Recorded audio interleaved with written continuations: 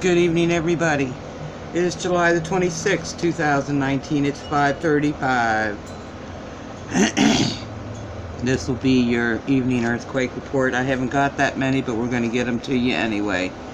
There was a 4.9 Flores Sea at 361 miles in depth.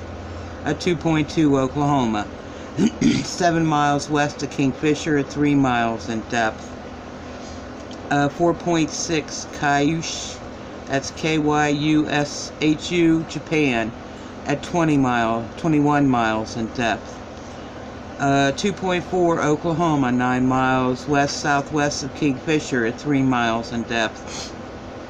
Uh, A 2.8 Oklahoma, 8 miles west southwest of Kingfisher at 5 miles in depth. Uh, A 3.9 Sumbawa region, Indonesia. That came across at 104.3 miles in depth. A 3.3 Chile at 52.1 miles in depth.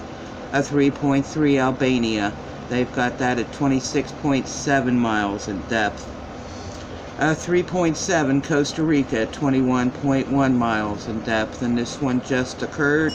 A 4.4 Andreanof Islands, Aleutian Islands, region 68 miles south southwest of Atka, Alaska, and that came in at 21.9 miles in depth.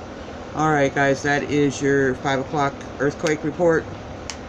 I am going to go ahead and start me some dinner. God bless each and every one of you. You are all totally awesome. You have yourself a great evening and I'll be back at midnight unless something major comes along, alright? Two thumbs up for you. Please be safe out there. Please.